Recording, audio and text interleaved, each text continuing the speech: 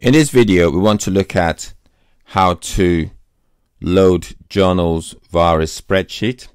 So what I'm going to do is go to General Accounting, select Journals, and I'm going to go to my Task panel and select Create Journal in Spreadsheet. So what would happen is that an Excel spreadsheet would be downloaded. So I'm going to, just going to open the spreadsheet in Excel and then populate it. But first he'll ask me to connect and that's connecting to the server, Oracle server and I'm going to log in as my username and password. Let's sign in. And you will need to install a plugin called the ADFDI executable. And once you've installed that, you'll be able to very quickly open up the spreadsheet. And it will create a tab for you, which will allow you to then upload the file. So I'm going to call my journal monthly adjustment. Actually let me just call it uh, legacy monthly adjustment. just call it legacy monthly adjustment. And then my ledger will be my acme us ledger. Accounting date. So i'm going to use the first of the first 2018 there's no adjusting period. So that's my sources spreadsheet category is adjustment. And what I'm going to do is I'm going to load my journal for a number of lines so let me just open my data that is coming in from another system. So what I've done here is I've just created base data. Um, I've used some random numbers. So I can create my full debits and credits and I have a balancing figure so that's my balancing figure will go into this column and I'm just going to use as many accounts as possible so I've got my assets liability revenue accounts expense uh, yeah so what I'm going to do, I'm just going to copy and paste this. So I would need about 300 odd lines, 300 to be precise. I would need about 370 lines. So let's add those lines. But before I do that, I have to unprotect my spreadsheet. This will allow me to add multiple lines. So as I'm scrolling down, you can see it's telling me I've got five rows, seven rows. So let's take this all the way to about um, 367 so let's insert. So these are my rows so I'm just going to copy and paste my data into this spreadsheet. I can if I want to double click and then I'm able to enter my combination. So if I have the combination I can actually enter my combination. So again, this opens up the same combination that I have within the form. So let's cancel this. So what I'm going to do, I'm just going to copy and paste. Um, actually, let me just company 3251. A line of business will be 10 and my intercompany will be 3251 so let's copy and paste all my data all the way down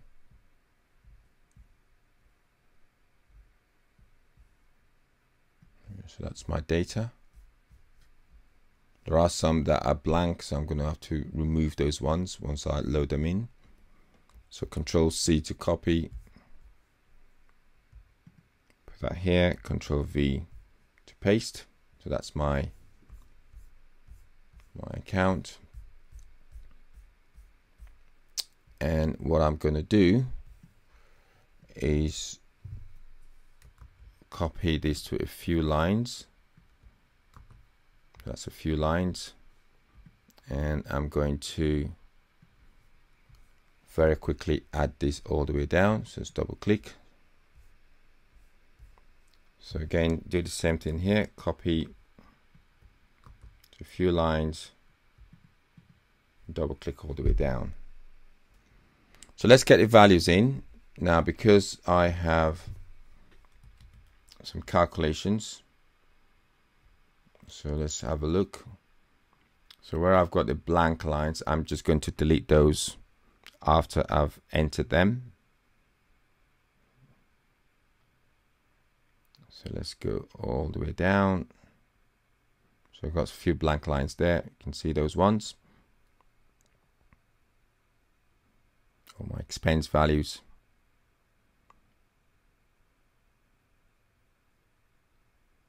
Okay, I think that's the last of my lines. Control C to copy. So let's go to my, I'll come back to my currency in a second. So let's go to my debits and credits. That's my data. You can see that it balances. My currency will be US dollars. And let's copy this all the way down. I can if I want to put some uh, line description as well. So let's just be a little bit uh, January 18, a little bit intuitive with that. I'm just going to put in January 18 legacy adjustment.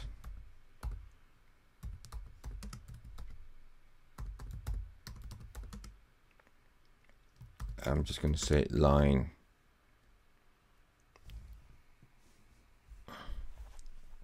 Let's expand this a little bit. Uh, line 001. Let's do that. I was going to expand this. Or maybe perhaps I should just use my description of my account. It's just account description. Hmm, what do you think? Yeah, let's do that.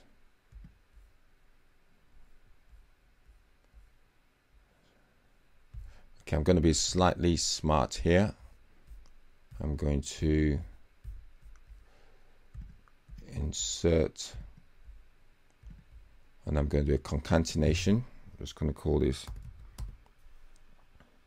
Jan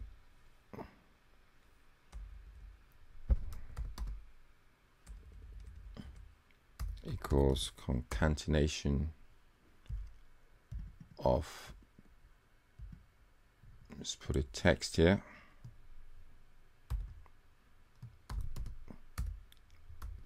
Jan 18 space dash space. And my second text will be my column. And I will just use this as my description. So let's do that. And paste this so so that's my description of my lines. So what I'm going to do is look for those blank ones that we had earlier on. I'm just going to delete those lines. So right these are the lines I need to delete. So let's delete them. Select. Right click. Delete go all the way down. There should be some blank spaces at the bottom as well. Um, interesting. Yeah this has got no values. So again I'm going to delete all of this. Right click delete. So let's go back and see what we have for the totals, debits and credits. You can see that that balances. And you have to remember that your journals have to balance on the primary and also on the secondary segment. So I think we're good to go. Let's now load our spreadsheet. And to do that, you select your create journal tab and you submit. And that's loading your spreadsheet into the server. We have some options. Either we save it to the interface, submit a journal, or submit and post. So I'm going to submit and post. We don't have any DFF, descriptive flex otherwise we could also have imported those as well. So let's submit.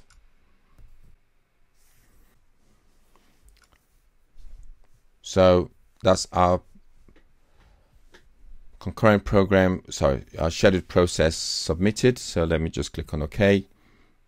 And you can see that the rows are successfully inserted. What I didn't show you earlier on was that there's a little arrow here to tell us if a field or a row is uh, has changed. So what I'm going to do, I'm going to save this spreadsheet because I can reuse this later. So let's save this.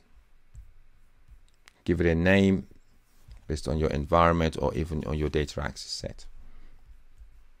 Let's go to my yes scheduled processes. So we can see that journals imported as fresh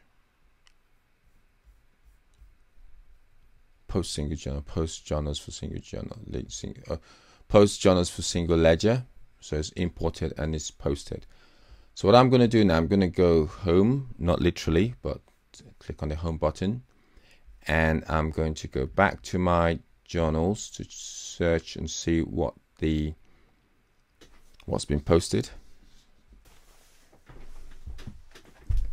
So let's have a look at the posting. So I'm going to select journals. And let's go to, oh, actually what I didn't do earlier on was look at all. And that would give me the details. So let's go to manage journals and accounting period equals Jan so we should have two journals here at least. Oops. Search. And we can see the legacy monthly adjustment journal $2.1 million. I can see all my, that's my journals that I've entered via the spreadsheet posted as well. So that's how to create a journal via the spreadsheet. So thanks for watching and see you in the next video.